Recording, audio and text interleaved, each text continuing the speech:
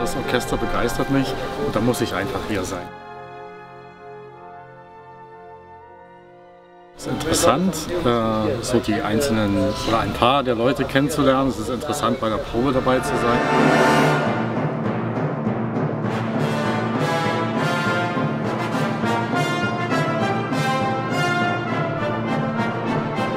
Gerade durch Jörg erfahren, dass, dass er alle unsere Konzerte von den letzten Jahren äh, zugehört hat und dann äh, entwickelt sich eine Art Beziehung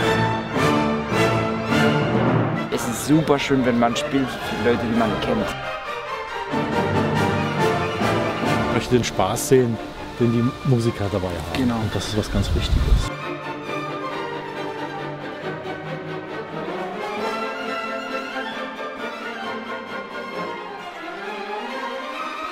Ich weiß, dass bestimmte Leute im Publikum sitze, äh, sitzen, dann widme ich irgendwie äh, mein Solo an dem.